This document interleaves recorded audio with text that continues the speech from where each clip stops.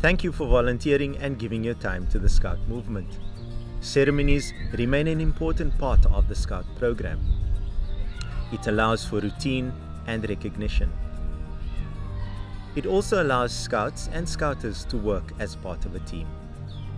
By including ceremonies as part of your meetings, you are very quickly able to recognize Scouts for their advancements, interest badges, as well as any other award which they have achieved. Always remember, ceremonies should be short, simple and sincere. Troop, troop alert. Duty patrol.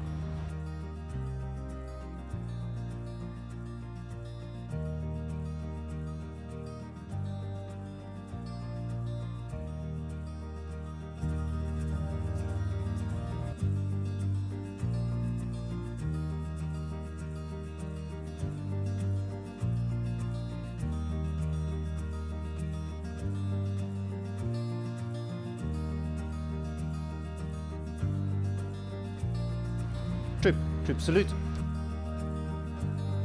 Down.